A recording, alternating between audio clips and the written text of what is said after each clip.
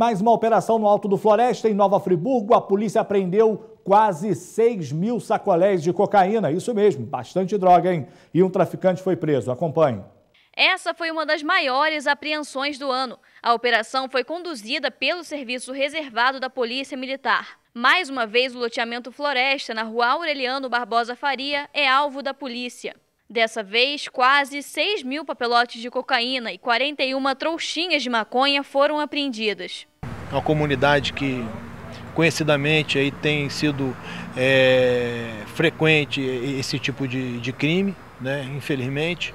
A Polícia Militar sabe disso, né? tem atuado é, com bastante constância lá, semana passada, retrasada, somando aí nesses últimos 15 dias quase 30 presos só naquela região. Que havia informação de que havia essa carga, não, não sabia o local, né? mas é, tudo convergiu aí com o planejamento dando certo. Né?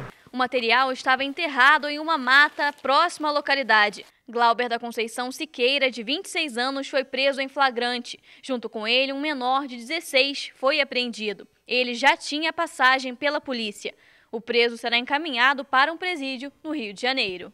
O fato é que está chegando e a Polícia Militar tem, tem atuado. Estou contente com minha tropa, bastante feliz. Aí a tropa está motivada, está trabalhando, né? Vamos ver se a gente continua essa batida aí perda de tempo né, dos traficantes enterrarem essa quantidade enorme de entorpecentes, a polícia acabou encontrando.